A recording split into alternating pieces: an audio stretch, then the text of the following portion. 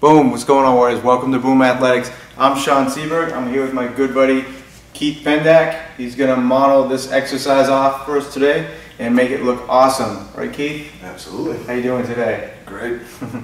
so we're gonna go over the prone cobra from the floor.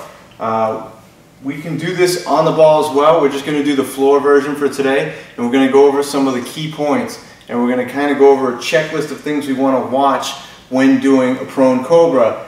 One of the reasons, one of the main reasons why people do this or would need to do this is if they have rounded shoulders. Have you ever found in your life that you had kind of rounded shoulders? Oh, yeah. You're like, oh man, if I could just bring that back, I would be so much stronger. Driving my car. Yep, driving the car, playing on the computer, playing the video games, start to lean more forward, forward. Damn it, that's a kill streak! I got it!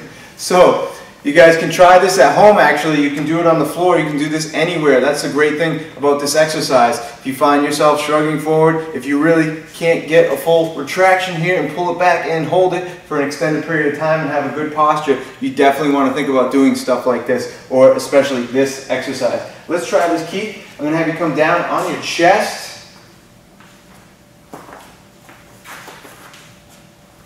Just like so. So, First things first, let's checkpoint. Glutes, engaged, squeezed, just like that. Toes pointed back, good, check. Hands, we want to externally rotate. We don't want to externally rotate a little bit, we want to externally rotate a lot of it. So we want these hands to be way, way out here. And as you can see, that already brings his shoulder blades back right there. He's nice and solid now. So he's going to try to hold that position. Not the easiest thing if you've never done it before. Keith really hasn't done this before too much, and this is one of the first times he's done it. So this is challenging for him.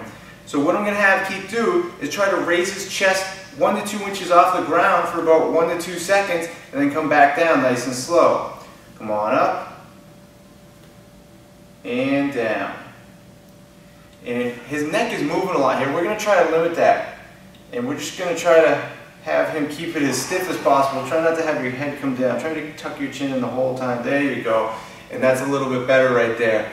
So a lot of stuff going on. Obviously he's tight because his hands are trying to turn back down. He's got to fight that the whole time.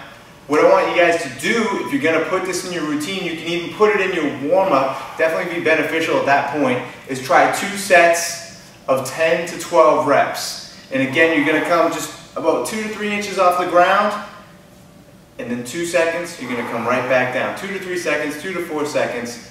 You'll feel it. You'll definitely feel it if you've never done it before and you know you have some uh, some protraction going on throughout the shoulders. That's good, Keith. You can relax.